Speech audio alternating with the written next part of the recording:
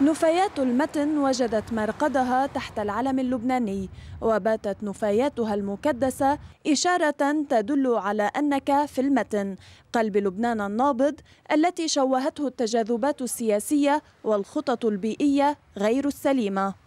ففي بيروت فرغت المستوعبات من نفاياتها وشوارعها أزهرت بنظافتها.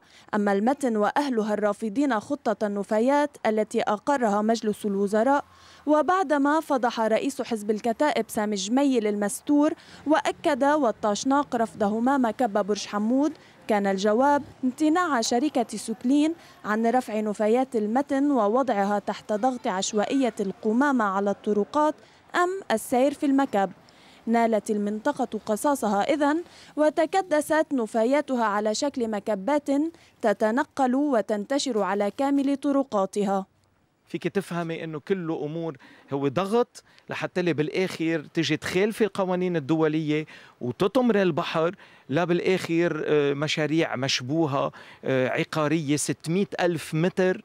في حين إنه لو بدنا عن جد نطمر كل عوادم المنطقة يلي موعودين هن 1200 طن بيجوا كنت ما ما بتتجاوز ال 6000 متر. يعني بنتأسف إنه سوكلين تكون عم بتخيرنا بين إنه نشم الزباله حد بيوتنا أو نشم الزباله على ساحل المتن لمدة 15 سنة. بنتأسف. نحن منا عملية ضغط. نحن يا ريت بنتفاهم مع بعضنا لأنه الشغلة بدها تضافر كل الجهود. ما حدا عم بيضغط على حدا.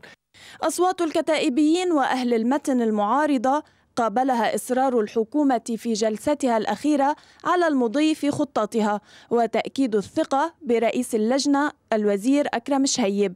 وبين مطرقة مكب برج حمود وسندان النفايات على الطرقات الضحية الوحيدة هي أهالي المتن. لازم يخلصونا منهم. ما عم نقدر نقعد برا ما ما بنضل قاعدين جوا ليل نهار.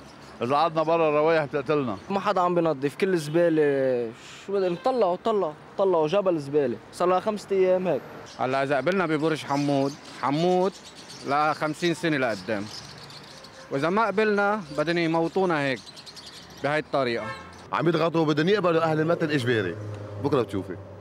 أزمة الثقة أنتجت حالة كباش بين المواطنين المتنيين والحكومة فهل تستمر الحكومة في خطتها ويعاني المتن معاناة أهالي النعمة على مدى عقدين؟ رواند أبو خزام قناة الجديد